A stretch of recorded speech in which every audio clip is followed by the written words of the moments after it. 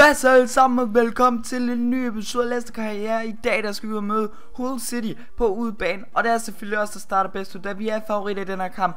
Elements afslutter ude for feltet Men desværre forbi mål i den her omgang. Vi var dog ikke færdige nu. Jamie Vardy her ind af banen. Jamie Vardy fortsætter med en afslutning Og så står der altså 1-0 til Leicester.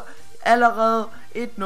Jamie Vardy, rigtig vigtigt mål. Super mål, må man bare sige. Og her, der snorks over, vi altså i forsvaret. Lægger den videre her. Kasper Schmeichel kommer ikke ud i den. Og bliver altså inde på stregen. Og så får de altså allerede udlignet Hull City. Og de var ikke færdige nu. Her har de faktisk en rigtig god chance. Men Kasper Schmeichel kommer heldigvis ud i den her omgang. Og får den kastet ud til Oxlade Chamberlain. Men vi er ikke færdige nu op i angreb. Ballerin smækker den ind over, men røve til KTR til Thielmans dog lige inden for målrammen. Og så blev kampen altså desværre fløjt af. Den ender 1-1 på Hull City Stadion. Men nu skal vi altså ind til en meget, meget, meget, meget vigtig kamp på King Power Stadium. Det er Fiorentina i Champions League. Og vi kan bare se, at de starter rigtig, rigtig, rigtig godt ud med noget super samspil. Og så står der altså 1-0 til Fiorentina.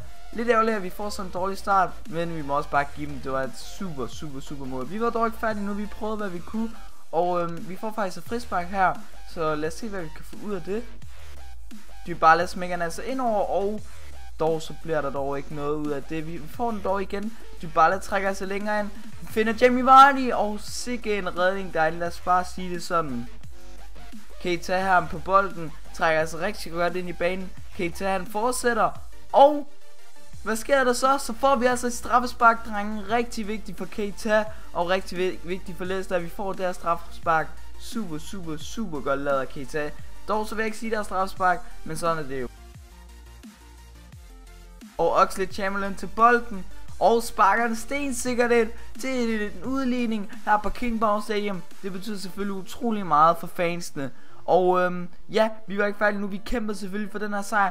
Dybala smækker den ind over her til Kante. Men sikke en redning, der er en Fiorentina målmand. Vi smækker den ind over igen. Kante kan dog ikke nå til den. Og det begynder at se lidt tungt ud. Men her, giftigt hovedstød for Tjelmans, Det ser man dog ikke lige hver dag fra hans side af. Dybala prøver at komme med et hjørnespark her ved forreste stolpe. Det bliver hættet ud. Bare til Tjelmans, Tjelmans skal egentlig bare afslutte der. Kommer du ikke på en afslutning. Her bare til sidst. Og gør det til 2-1, drenge. Og vi får simpelthen fucking føring. Det betyder utrolig meget der for Leicester i Champions League. Det er sindssygt det her, at vi får scoret. Og prøv at se fansene, drenge. Det er helt ekstremt, hvor meget det her det betyder for dem. Her er Morgan videre til Thielmans, og Thielmans har altså et sygt godt overblik. Spiller dem videre til Jamie Vardy, som sætter en sten sikkert ind. Og øh, så var der egentlig ikke mere tilbage i den her kamp. Den ender 2-1. Så ja, grund til, at jeg ikke har uploadet, og grund til, at den her video er lidt kort, det er simpelthen på grund af lysten. Den mangler rigtig meget her for tiden.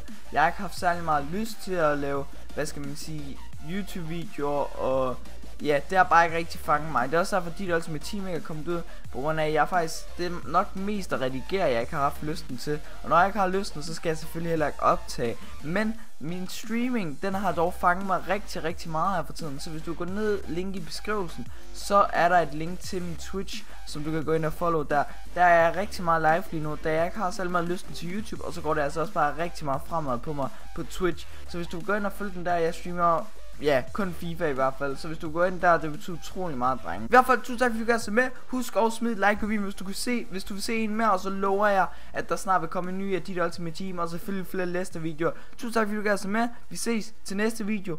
Hej.